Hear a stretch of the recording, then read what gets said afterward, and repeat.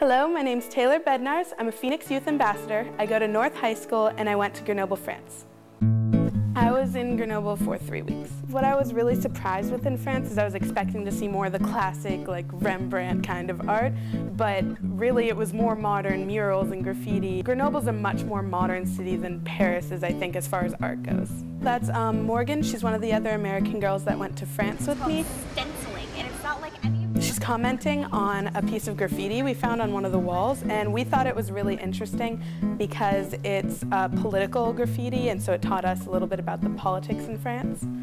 This, what we're looking at right now, was the coat of arms of the region that Grenoble's found in, which is called Dauphiné, and their sign's the dolphin, and you can see that in the seal. I learned so much about the French culture going there. This was something that we found that we thought was so cool. It's a huge mural. Graffiti is being embraced as a form of mural making in Grenoble instead of just a form of disrespectful graffiti as seen on this bridge. It's a huge mural found underneath one of the bridges, and it's actually where um, a marketplace where people during the week will come to sell fruit. And there was an artist there that had painted all of this, and we actually happened upon the artist while he was painting. This is painting for Alta Bridge. Alta Bridge is a market. He said that it was um, expressed a lot of people that come to sell the fruit and whatnot in the market.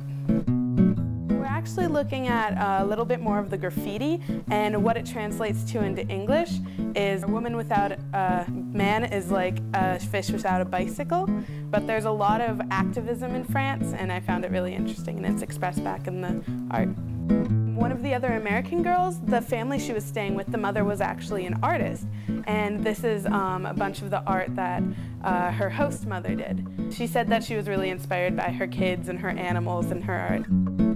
I think that this was probably the best thing I've ever done in my entire life, and I recommend it to everyone because there's really no reason not to apply. There's financial aid scholarships if you can't afford it, and there's just a great experience no matter where you go.